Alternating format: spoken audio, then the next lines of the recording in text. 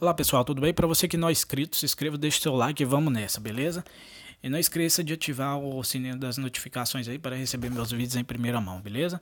Então o que, que eu vou fazer hoje? Já estou com o meu aplicativo do Caixa, é, da Caixa Econômica Federal aberto aqui. Vocês podem ver aqui em cima que meu saldo é 300 e poucos reais. Tem que ter saldo em conta para pagar a conta, beleza? O que, que eu vou fazer? Hoje eu vou explicar vocês como que paga qualquer boleto que vocês tiverem aí. Seja é, prestação de carro, de moto, PTU, IPVA, certo? Lembrando que IPVA tá aqui é só para São Paulo, não tem certeza se dá para outros estados não, tá? IPVA de São Paulo você consegue pagar normalmente aí. Nesse caso eu vou pagar a fatura do, da minha internet fixa. O que, que eu vou fazer? Vou clicar aqui, ó. Pagamentos, tá? De pagamentos eu vou vir aqui, ó. Água, nessa primeira opção, água, luz, é, telefone e gás, tá? Se for outros boletos aí, igual eu falei, de carro, de é, é, de carro, galera. Carro, um exemplo, boleto de cartão de crédito, vocês vão ver aqui, ó, boleto de cobrança, beleza? Então vou clicar lá em água, luz, telefone, que o meu é de telefone, certo? Vai carregar. Para mim, é, eu posso, eu tenho duas opções. Eu clico aqui, ó, eleitor de código barras, ou então eu clico, eu começo a digitar aqui, ó, tá? Eu posso digitar ou clicar em leitor. Então vou clicar em leitor que é bem mais fácil, que lê com a câmera do telefone. Vai abrir o leitor de, de, de código aí, tá? Você coloca lá no, no código de barras da sua conta. Ele vai vir aqui, galera, vai ler o, o código automaticamente. Vocês estão vendo que o valor é 108,57. Confere nas suas contas lá, na, na, conta de vocês. Aqui, galera, em identificação do, do pagamento, vocês colocam se vocês quiserem, tá? No caso, eu vou colocar aqui é boleto. Boleto. Boleto vivo né? Vivo fixo que é o boleto que eu tô pagando da minha conta de telefone tá? Fixa. Aí só coloca só coloca se quiser beleza?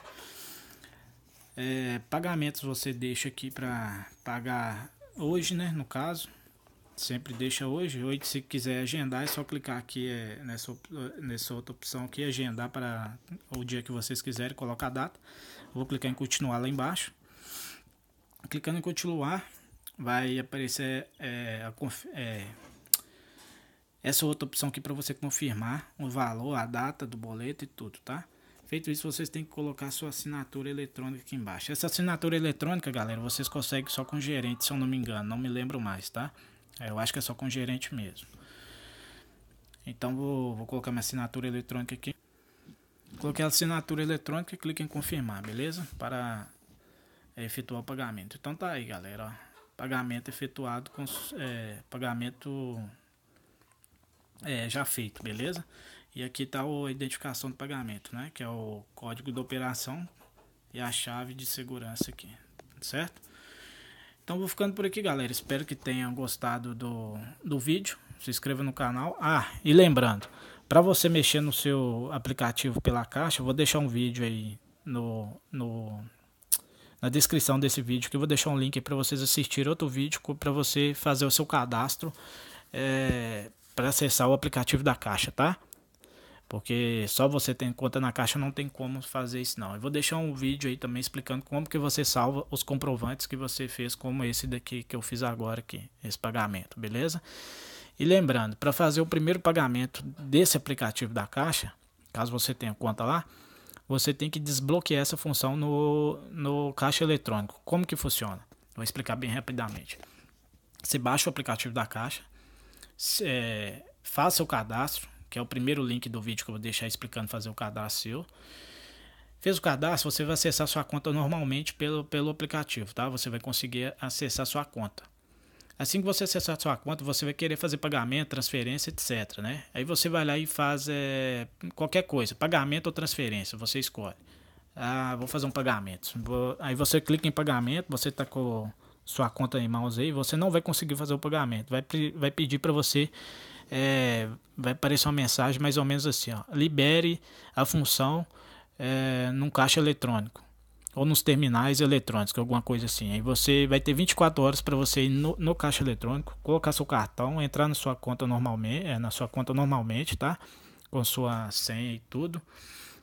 Vai em opções, opções, você vai em serviço para smartphone. Se não tiver o serviço para smartphone nas opções, você vai em outras opções novamente. Você clica em opções, vai em outras opções, vai em serviço para smartphone ou para celular, vai ter escrito alguma coisa assim.